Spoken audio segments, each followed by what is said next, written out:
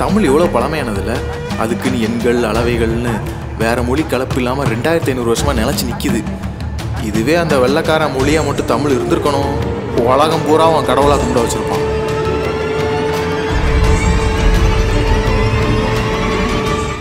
நீங்கள் என்ன சொல்ல வரீங்க? மகாபாரதம் ராமாயணம் இதெல்லாம் உண்மைன்னு சொல்ல வரீங்களா? நான் என்ன நினைக்கிறேன்னா சாதனம் நடந்த பாரத போருக்கு நிறைய மாயஜாலங்கள் எல்லாம் சேர்த்து இழுக்கு இழுக்கு சேலை வந்ததாகும் ஒரு இடத்துல இருந்து இன்னொரு இடத்துக்கு வானத்தில் பறந்து போகிறதாகவும் படிக்கிறதுக்கு சுவாரஸ்யமாக எழுதியிருக்காங்க.